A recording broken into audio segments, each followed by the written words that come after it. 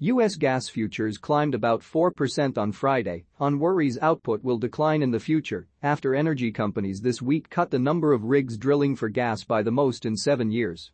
The gas rig count, an early indicator of future output, fell by 16 to 141 in the week of May 12, the lowest since April 2022, energy services firm Baker Hughes Company said in its closely followed report. That weekly gas rig decline was the most since February 2016 before Baker Hughes released its report, gas prices were little changed despite record U.S. output, rising exports from Canada after wildfires, and forecasts for mild weather that should keep demand low and allow utilities to inject more gas into storage than usual in the coming weeks.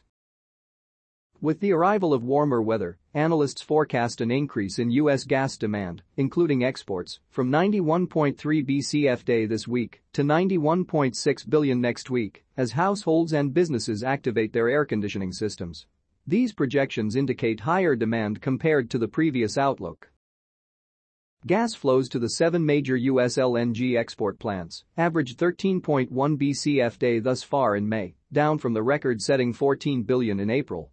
This reduction primarily resulted from operational adjustments at Cameron LNG's terminal in Louisiana and Cheniere Energy Incorporated's facilities at Sabine Pass and Corpus Christi.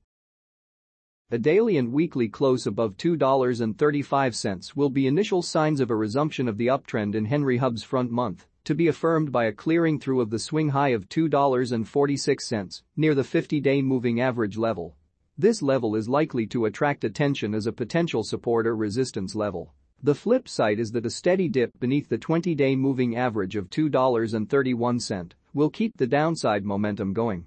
That could invite potential drops to the $2.20 level.